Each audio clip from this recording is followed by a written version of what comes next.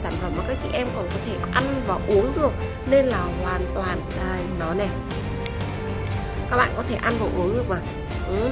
nên là nó hoàn toàn vô cùng an toàn với da của các chị em. Ví dụ như da của chị em có thể là chúng ta vừa laser, vừa lăn kim, vừa làm siêu high fashional hoặc là các chị em có thể làm phi kim, vân vân.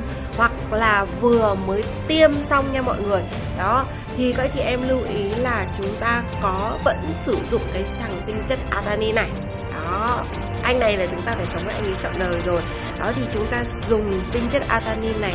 Nhưng chúng ta thay vì mọi khi là các chị em xịt da bông và sau đấy chúng ta lau ở trên da bằng cái phương pháp là lau nhẹ lau nhẹ lau nhẹ này, đúng không ạ? Nhưng khi mà da của chúng ta đang, khi mà da của các chị em ấy mà chúng ta đang có những cái vết tổn thương này thì lưu ý là chúng ta chấm. Mọi người nhá, mình lau ở những cái vùng ngoài này. Đây, cái vùng ở trên này. Hoa qua mới nặng một ẩn đấy nhưng mà ngày hôm nay hết luôn. Đó lại một ẩn này sau một buổi tối là hết hoàn toàn luôn. Bởi vì khi mà mình sử dụng tinh chất alkaline này thì da của các bạn sẽ được nuôi dưỡng ngay khi mà các bạn sử dụng.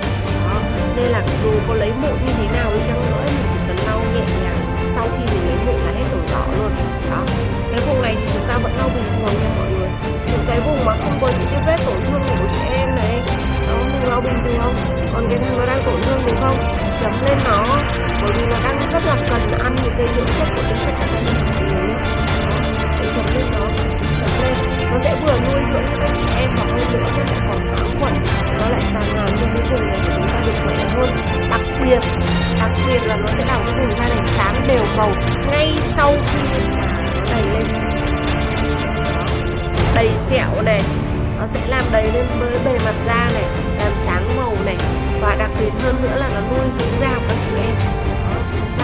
Nha mọi người nhé và vùng mắt để da của chúng ta được săn chắc hơn nếu như mà các chị em mới dùng ấy thì mình thường có thoa vùng mắt. Nhưng mà khi mà anh dùng quen rồi thì anh thoa bởi vì khi các chị em mới dùng ấy mình lau ở xung quanh này hơi lên là vừa rồi. Giống như là các chị em đang ở cấp độ bốn đó thì anh dùng quen rồi anh cứ dùng hàng ngày vậy thôi. Một ngày một ngày với những da mà mà mà đây này đang điều trị như bên anh nữa đang vừa mới tiêm nốt ruồi xong ấy. Thì những, tiên mình chấm lên cái vùng này nhiều lần trong ngày. Nếu các chị em có thời gian thì ba bốn lần có thời gian thì mình chấm tới bốn năm lần thì đấy được nhớ lưu ý là chúng ta phải lau mình cổ mình lau mình cổ để cho cái cái mình đang cổ này chắc. Hôm qua bên kia một cái ở đây này, này. mình chấm lên em này mình chấm lên thì cái da của mình lúc nào nó cũng mềm mượt đẹp. Và hơn nữa là khi mà những cái nốt tổn thương này của các chị em mình đốt laser mà.